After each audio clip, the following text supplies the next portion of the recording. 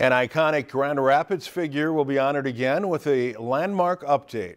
Jackson Bruner tells us about the connection between Wizard of the Oz star Dorothy and this city as it celebrates its 125th anniversary. We've probably generated 20, 30 million dollars of publicity for the town free because of Judy Garland, Garland, the power of that name. When she was born in Grand Rapids in 1922, her name was Frances Ethel Gumm. At an older age, she and her sisters toured the country as a theater act. And eventually, Frances made it big, changing her name to Judy Garland in the process. Right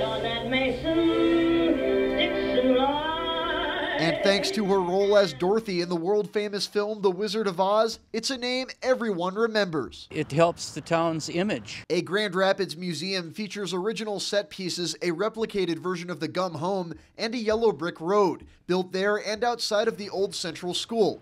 Since the movie's 50th anniversary in 1989, the bricks have been personally engraved. A lot of them have um, WOZ on almost everything because they were Wizard of Oz fans. Orders for bricks will be accepted by the museum and Itasca County Historical Society through June 1st. When you get there, there's two sections that are almost totally full and the rest of them have spaces left.